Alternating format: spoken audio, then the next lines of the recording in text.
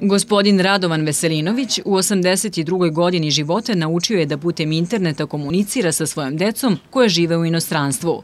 Gospodin Veselinović već četiri godine živi u Obrenovačkom gerontološkom centru, a zajedno sa drugim korisnicima, zahvaljujući projektu Udruženja snaga optimizma Klik za treće doba, upoznao je jedan novi virtuelni svet. Stupio sam u kontakt sa sinom u Hamiltonu, sa čerkom u Šerbrku i njihovim porodcama sigurno, sa čerkom u Skoplju i sinom u Zagrebu.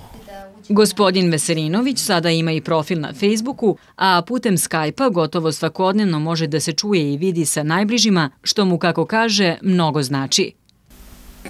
Puno mi znači kad i vidi. Izvinite. I ovaj, jer ja ne mogu često.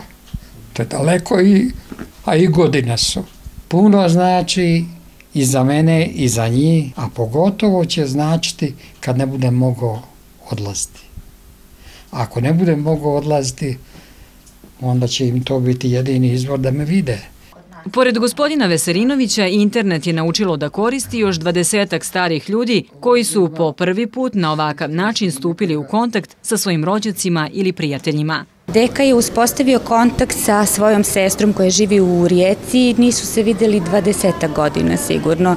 I to je bila zaista jedna, jedna dirljiva scena. Zatim imali smo ovaj, e, deka Cvić Vukašin, on je, ovaj, njegov sin živi, ja mislim, u Engleskoj, dobio je blizance i onda je deka mogao putem interneta, Skype-a u stvari da gleda kako oni hrane, preslače decu i to je bilo jako zanimljivo.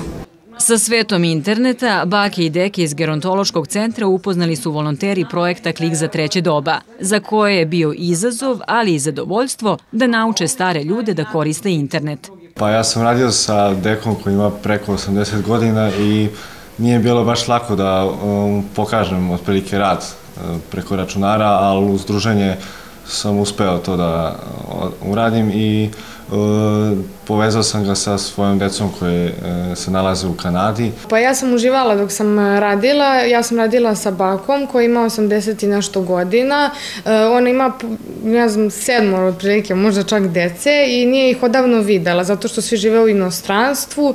Ona se vrlo lako prilagodila i uživala i ona i ja i to je divno je kada vidite kako je ona srećna, jer ih vidi posle toliko dugo vremena i čuje i vidi.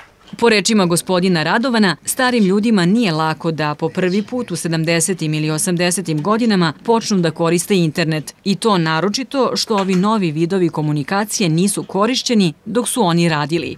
I danas danje ovaj, dođem u neku situaciju kad ne znam da rešim, pa ostavim za kasnije pa nekako ovaj, otarasim to.